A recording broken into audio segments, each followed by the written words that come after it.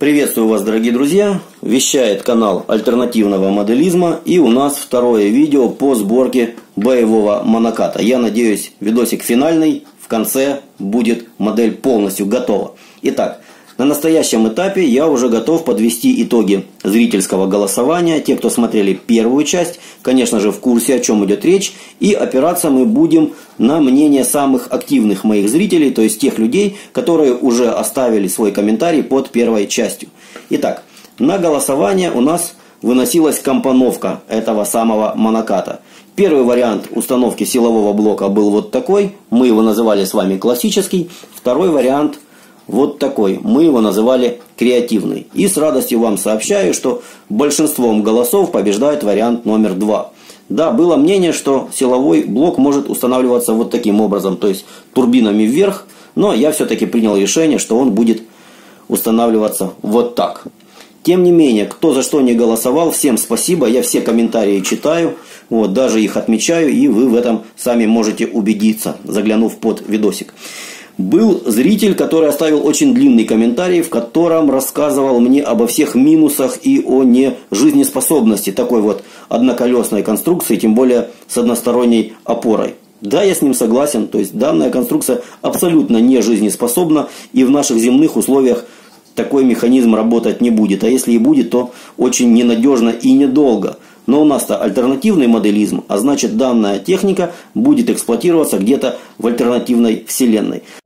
Ой, как удобно. Был другой э, зритель, который написал очень большой комментарий, и я прямо вот видел, как человек включает всю свою фантазию, он прямо проникся этой идеей боевого моноката, где рассказал, как, зачем и почему используется такая техника. И если он не против, а я очень надеюсь, что он не против, то я переделаю его комментарий, немного его подредактирую и э, сделаю из него описание готовой модели. А вот прочитать это описание вы сможете в закрепленном комментарии именно под этим видосиком.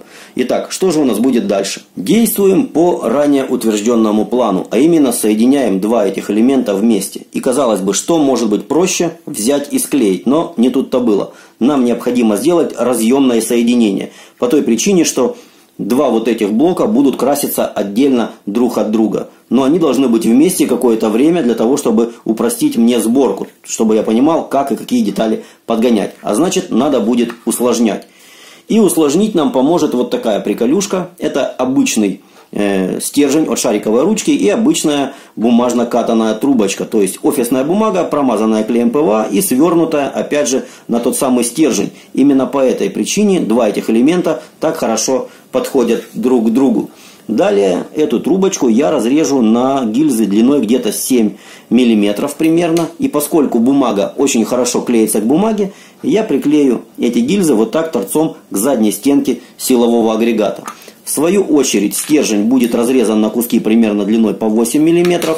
В задней бронеспинке сиденья, вернее кабины пилота будут просверлены отверстия. И в эти отверстия также торцом будут вклеены куски этого стержня. Все это вклеиваться и склеиваться будет таким образом, чтобы элементы совпадали и наши два модуля какое-то время могли держаться вместе. Дальше будем подгонять ходовую часть вот здесь, на этой платформе, будет создано какое-то седло, так называемое, в которое сядет вот эта вся только что собранная конструкция. Не очень хорошо держится, но когда это будет примерно выглядеть вот так, именно на этом этапе мы поговорим с вами о создании амортизатора между кабиной и ходовой частью. Такой у меня план действий. Я думаю, вам было все понятно. Если вдруг что-то непонятно, то сам процесс сборки вы увидите, как обычно, на фотографиях. Поехали!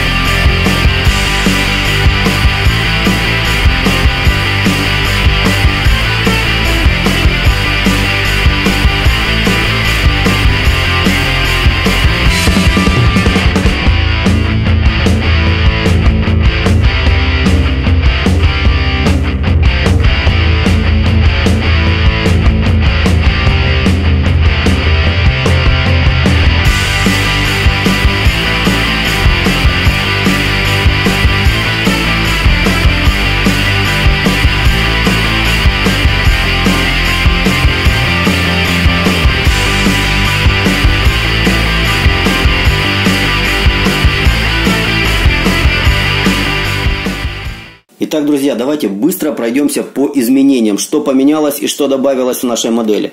В первую очередь давайте испытаем наше соединительное устройство.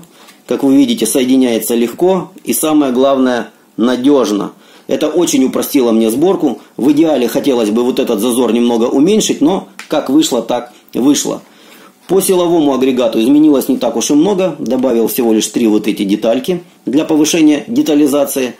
По кабине установил фишки для подключения кабелей. С правой стороны у нас есть огнемет ближнего боя.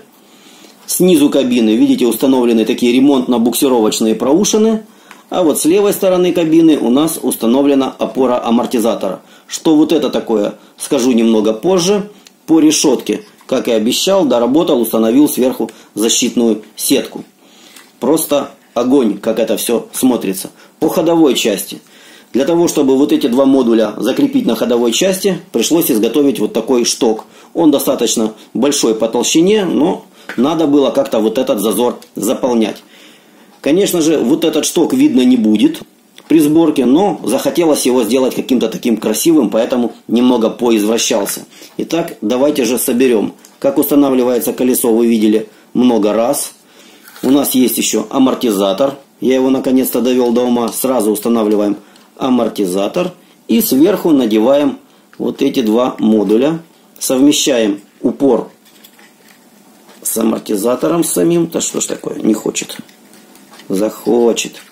Вот, все село, все соединилось. И вот так в первой, так сказать, примерке будет выглядеть наш боевой монокат. Вот он, красавчик. Если у нас по правой стороне все отлично – то вот левая сторона получается несколько разгруженной такой. Вот сюда что-то просится.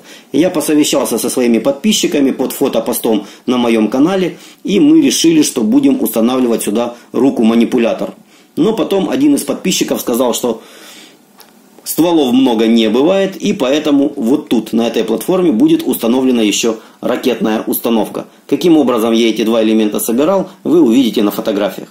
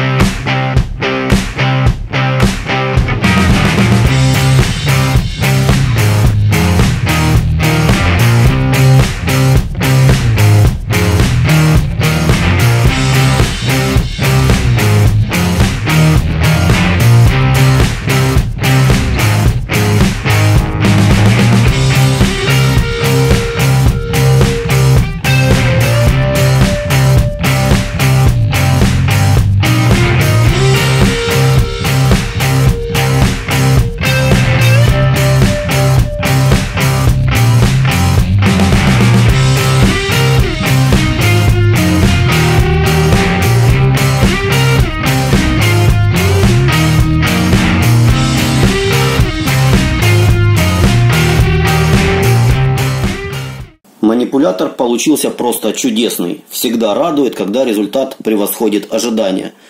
Добавятся еще после покраски шланги вот в эти фишки, и рука манипулятор будет смотреться просто бомбезно.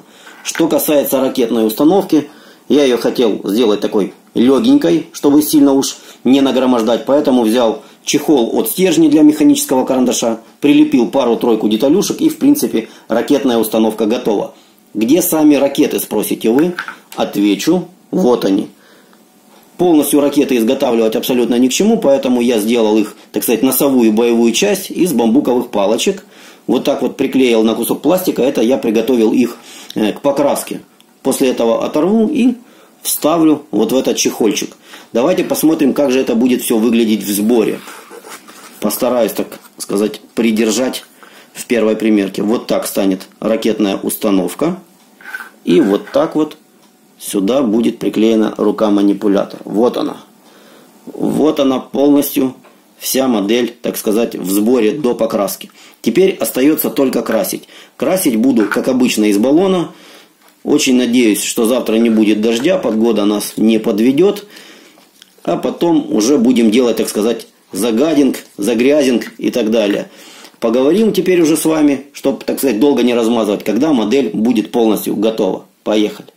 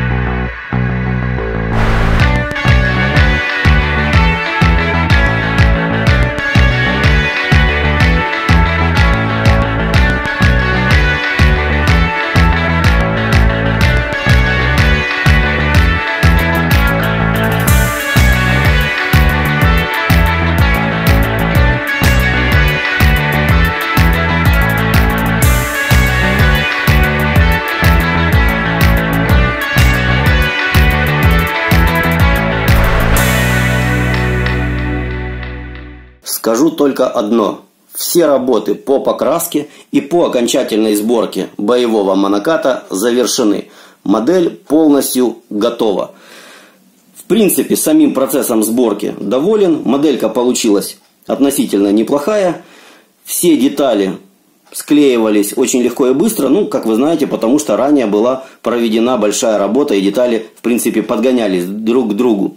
Единственное, два момента меня смущают. Первое – это крепление самого колеса. То есть, если смотреть спереди, оно стоит более-менее ровно. Если мы посмотрим сзади, то видно, что, конечно, колесо немного ушло. Не знаю, как так получилось. Наверное, когда придерживал колесо и ждал, пока засохнет клей, что-то сместилось, и, в принципе, получился вот такой косячок. Но переделывать ничего уже не буду, потому что колесо закрепил не только вот тут в посадочной втулке, в посадочном месте, но и сделал еще две перемычки жесткости вот тут между колесом и крылом, просто капнув опять же тем же горячим клеем из пистолета. В принципе, они не так уж и заметны, зато придали нашему креплению большую механическую прочность. Вы видите, могу трусить как угодно модель, держа только за колесо, и ничего не отваливается. А это значит, что в будущем модель будет стоять достаточно устойчиво. Это первый такой косячок. Второй косячок. Слишком много получилось у меня вот этих шлангов и проводов, кабелей и так далее. Слишком много открытой проводки. То есть, ну, по большому счету, все это легко может быть повреждено, и наш монокат будет выведен из строя. Ну, не знаю, какую-нибудь отмазку для этого в описании мы все-таки придумаем. Тут же у нас все открывается, все двигается, я имею в виду решетка. Изобразил тут какую-то эмблему боевого подразделения этих монокатов, иероглиф какой-то, придумал сам, он абсолютно ничего не означает, во всяком случае в нашем земном измерении. Конечно, модель выглядела бы гораздо более, так сказать, живой, если бы здесь сидел пилот. Присутствие человека в модели всегда дополняет. Но так как у меня никакой фигурки не оказалось под рукой, значит останется кабина пустая. Теперь давайте подумаем над тем, каким же образом мы его установим. Потому что ну, сама по себе модель, конечно же, стоять не будет, а в полочку ее каким-то образом водрузить все-таки придется. Поэтому я взял вот такую штуковину. Это заглушка от какого-то электрооборудования, от какого сейчас абсолютно не важно. Важно то, что у нее абсолютно идеальная форма для подставки. Вот так вот так это будет крепиться, вот так это будет выглядеть. Какой у меня план? Как получится, не знаю, но планирую, что я делать. Возьму самоклейку, бумагу самоклейку, приклею вот сюда на эту площадь, для того, чтобы у меня получилось бумажное основание. На это бумажное основание я вырежу из картона такие плиты, имитацию плит бетонных, будет какая-то расшивка, возможно, будут какие-то трещины, возможно, будет даже какая-то разметка, кустики травы, гравий, все это планируется. Насколько осуществимо, ну, вы, конечно же, увидите через пару секунд, через пару минут. Вот. Сделаю основание, потом просверлю отверстие и вкручу с изнаночной стороны саморез, который выйдет, естественно, вот тут. Для того, чтобы было тело, так сказать, в которое бы вкручивался этот саморез, вовнутрь колеса я залью горячий клей. То есть предварительно проделаю отверстие, залью горячий клей, по-быстренькому вкручу саморез – Пока клей еще не застыл, он будет горячий, он стечет вниз колеса и обхватит собой тот самый саморез. И таким образом, я думаю, что хватит нам прочности, чтобы наша модель стояла на подставке. Вот такой план. То есть, как я сделаю подставку и, в общем-то, полностью финальную фотосессию уже готовой модели, вы, как всегда, увидите в слайд-шоу. Ну а я с вами прощаюсь. Как вы видите, мой эксперимент, который начался неудачно, в принципе, закончился хорошо. Моделька получилась неплохая. Поэтому, ребята, если понравилось видео, ставьте лайки, делитесь видосиком с друзьями. Кто не подписался, подписывайтесь на канал. Я прощаюсь с вами. Пока. Скоро увидимся.